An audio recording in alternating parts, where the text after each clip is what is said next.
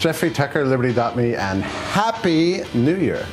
Um, I have with me a lovely glass of champagne. Can you imagine that there was a time in this country's history where people were not allowed to buy and sell this stuff? What do they do on New Year's? I don't know. Dreadful times.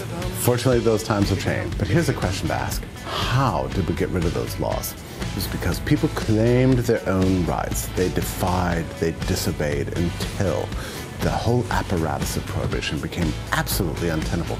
Why don't we use that same model now? So here's a resolution for you. In the new year, obtain more liberty for yourself and for your friends and for your family. That's the whole idea of Liberty.me. Thank you so much for your support and love for you to join us. It looks like there's one bubble that's in the middle of this glass that is not moving. That's actually a beautiful thing.